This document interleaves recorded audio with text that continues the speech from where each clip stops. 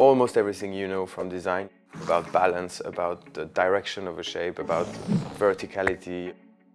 All this was to be rethought completely.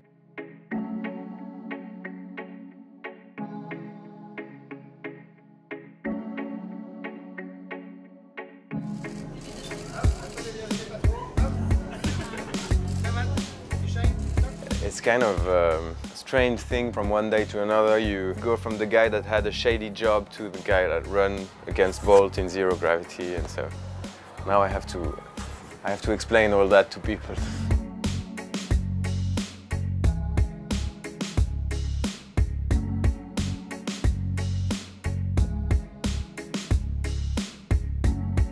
There's nobody else doing this. I don't think we need tons of agency addressing these problems, but one is okay, you know?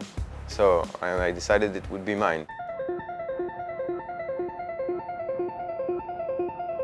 This is where I started to design, you know, when I, where I draw, mainly also where I get inspirations. It's a bit my universe, you know. These two were the first thing I, I ever designed, so basically that's a bottle of wine. This is a prototype I uh, exhibited, so I thought, as a designer, I would really like to bring something to the table and something that doesn't carry this very military DNA, you know, that, that you still have in every shape in space right now. And so I thought, okay, let's take just a simple moment, just an experience, more than wine. It was about, could you really enjoy a conversation and have a glass of wine and how complicated would that be, you know?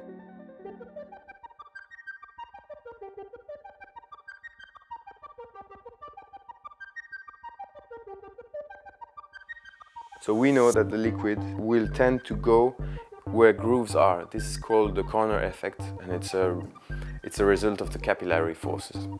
And you will just press here and the bubble produces itself.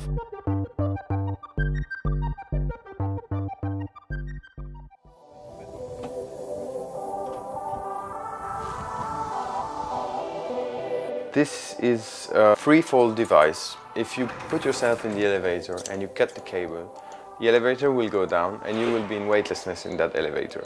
And in the ISS it's the same. The ISS is a, is a cabin that is constantly falling towards Earth. That's the principle of an orbit.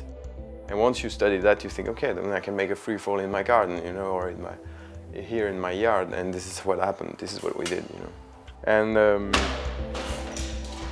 when it first crashed I was partly devastated and partly also feeling like, yeah, I'm now in a real space program.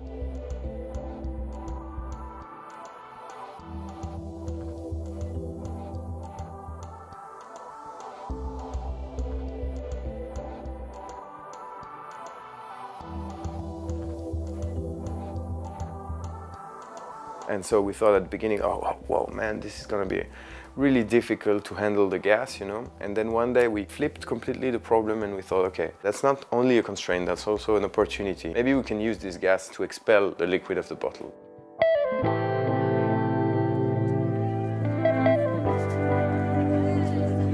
There are plenty of designers on Earth designing a lot of different ways to sit, for example, the, but the basic principle of sitting is settled, you know. Whereas in space, the basic principle of sitting is not settled at all. And there are so many solutions to find that for me, it's, the, it's just the beginning, it's just the tip of the spear. Since we say we send humans to space, why not start to think about the other things that make us human, you know? Not just the two legs and the, and the liver and the heart and the brains and everything, you know, but just also our habits, who we are. What story of ourselves did we build? How do we share a moment? How do we dance? How do we sleep? All these questions as important as the survival ones, you know? And if we say we send human to space, then let's also try to send the cultural thickness of human into space. Ça a marché On la refait Ouais.